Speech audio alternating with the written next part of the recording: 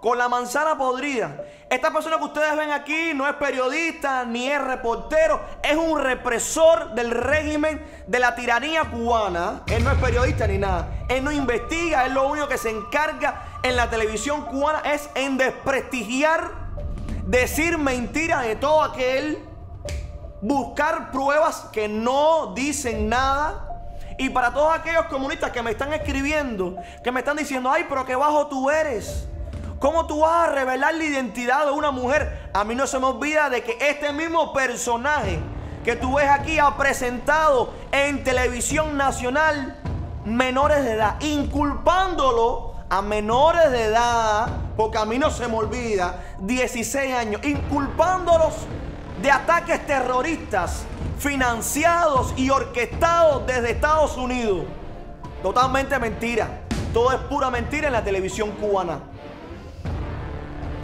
Hoy te voy a mostrar un pasado que él no quiere de que nadie lo sepa. Esta información la tenía desde ayer, pero me faltaban algunas pruebas. Y es un pasado tan oscuro que data inclusive de cuando él tenía 20 años, cuando él era un polluelito, estaba conociendo la vida, era um, un cubanito salido de, de allá de Colón, de Matanza, donde tuvo que emigrar a la ciudad capital, a la misma Matanza, y estuvo llegándose a Radio 26. Yo conozco bien Radio 26, conozco mucho Matanza porque yo antes trabajaba mucho en Matanza con los grupos que iban a tocar allí, me la conozco como la palma de mi mano.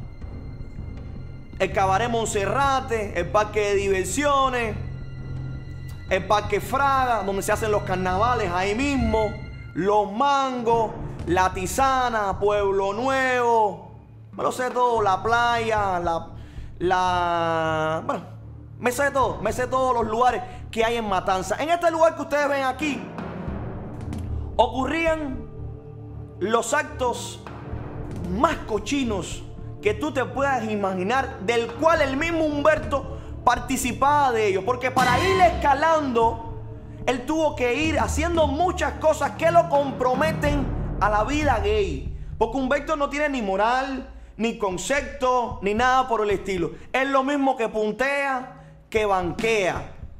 De hecho, aquí en este programa y también en las redes sociales, salió también la noticia de que Amelia, ¿te acuerdas Amelia? La que es periodista matancera, que te voy a hablar de ella hoy también. Ponme Amelia por aquí, Ale, para que la gente más o menos recuerden. Ella fue novia, fue pareja de Humberto y se conocieron inclusive en esta radio, en esta instalación ahí en Matanza. Y según cuenta un vecino de Humberto o de Amelia, porque ocurrió en casa de Amelia, esta misma chica lo cogió a él presuntamente con otro hombre en su misma cama. Él se puso bravo, de momento se convirtió en un hombre violento, violento porque él es violento. Aparte de ser todo lo que ya sabemos, es violento, le cae golpe a Melita, él se manda a correr, sale.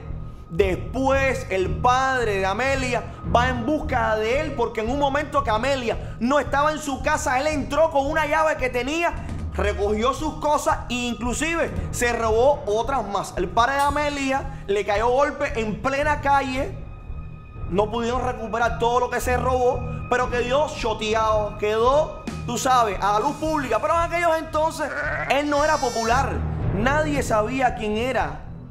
Era un caballo loco o una yeguita loca, porque es lo que tú eres, porque en ti se aplican todos los términos habidos y por haber. Ponme por ahí, Ale. Déjame leerte. Déjame leerte porque tengo mucha información de él. Para que vayas cogiendo el hilo. Primeramente, ponme el jefe. Ponme el director del programa del cual Humberto se tenía que acostar con él para ir escalando poco a poco en esa supuesta profesión de periodismo. Porque él no es periodista, él puede ser cualquier cosa. Posiblemente yo que no he estudiado nada, yo que no soy profesional, ni soy universitario, soy más periodista que él. Vamos la información y déjame la foto. Déjame la foto para que la gente vayan viendo. Ok, tranquilo, voy poniendo todo por ahí. Si quieres, ponme Humberto de momento, Ale, para que la gente vayan cogiendo el hilo. Ponte cómodo, ponte cómodo porque te voy a revelar lo que él más le teme y estoy completamente seguro que después de esta información la seguridad del Estado va para Radio 26 en estos momentos y va a poner a todo el mundo en jaque. Van a amenazar a todo el mundo en estos momentos en Radio 26. Estoy completamente seguro, pero yo te voy a dar la información por aquí. Y el que tenga valor, que me escriba para yo decirle exactamente y darle una entrevista por aquí. Voy para ti. Escucha bien. Como mismo tú haces en la televisión cubana, vamos a hacer contigo. Esto es poco a poco y esto empieza ahora. ¿Ok? Humberto López es gay. Empezó en la radio Matancera en un programa juvenil y comiéndose al director Domingo de Armas. Logró mantener su plaza. Ese fue su comienzo. Esta persona sabe sobradamente que Humberto es gay. Domingo, ese que tú estás viendo ahí en pantalla este muchacho trabajaba con Humberto en la radio. Te estoy hablando ahora mismo de otro que te voy a poner en cámara ahora mismo porque él tenía un buen amigo y ese buen amigo es quien le enseñó toda matanza y todas las cosas que él aprendió de su vida loca. Sigo. Este muchacho trabajaba con Humberto en la radio y era el que llevaba el que lo llevaba a las zonas de encuentro gay en Matanza. Porque Humberto era el guajirito de Colón, que no sabía mucho de Matanza. Estamos hablando de cuando él tendría 20 años más o menos. Él se llama exactamente Manny Andreu. Es el muchacho que te voy a poner ahora. En Matanza hay una pila, en Matanza hay una playa donde quedaban los gays que se llamaba la Yugoslava y se hacía camino para coger su máquina o camión para Jovellanos y después llegar a Colón. Pues en ese trayecto de regreso, Humberto se pasaba por esta playa. Esto es una playa. Ponme la foto, Ale. Ve poniéndome la foto de Manny Andreu. Para que la gente tenga idea, en Matanza hay una playa que es la, la, playa de Matanza, la playita, la más importante que es la que está en el centro. Pero esta playita queda un poquitico más alejada, llegando a Peñasalta, llegando como que, sí, como llegando a Peñasalta exactamente, porque más adelante está el río Canimao, está Tropicana, está el hotel, pero esta playita está en un lugar ahí como que escondidito, con unas piedras, hay un poco de arena, tú tienes que bajar. Pero sigo. Este es, este es el muchacho Manny, Manny Andreu Roque, su buen amigo, quien le enseñó la vida oscura, la vida loca. Inclusive en Matanza hay un cabaret, si mal no recuerdo, que se llama Las Ruinas, que está al lado, allí está, está allí mismo, por allí por Cerquitica, ahí mismo de la calle del medio, y ahí en ese cabaret nocturno, el cabaret Las Ruinas, también se reúne la comunidad gay. Pero bueno, ahí está la imagen de él. Déjame seguirte contando la historia para que tengas una idea. Para tener sexo con hombres antes de irse para la piquera de Peñas Altas a coger su transporte para su casa. En ese mismo programa fue donde empezó con Amelia, su pareja, esta que es periodista que supuestamente fue quien lo cogió en Colón en la cama con otro hombre. Hay mucha gente en la radio de Matanza que sabe sobradamente estas cosas de Humberto y mucho más, pero todo el mundo sigue callado. Le tienen miedo a la seguridad y a la dictadura. Este personaje tiene un pasado bastante oscuro como para dar lecciones de moral. No cuento más al detalle lo que hacía Humberto en esa playa porque me da vergüenza. Soy gay también. No me interesa salir con estas cosas en público, pero sí que se ha pasado una pila de cuadras, Humberto, doble moral. El que está contando la historia, quien está revelando este oscuro pasado, inclusive con Amelia, que la conoció ahí mismo en Radio 26, es otro amigo de Humberto que lo conoció, que andó con él, que andó con él para arriba y para abajo. Pero escucha bien lo que te cuenta ahora. Ale, aquí los que están conectados son cubanos. Si yo digo que andó, que anduvo, tranquilo, mi hermano, que aquí la gente me entiende. Yo no soy un profesional, así que tú tranquilo. Mira, yo sin ser profesional, sin ser estudiado, tengo más moral, más vergüenza y mucho más valor que el cobarde este que está aquí. Así que de mí pueden decir que tengo falta de ortografía, que hablo mal, que si esto, que si lo otro.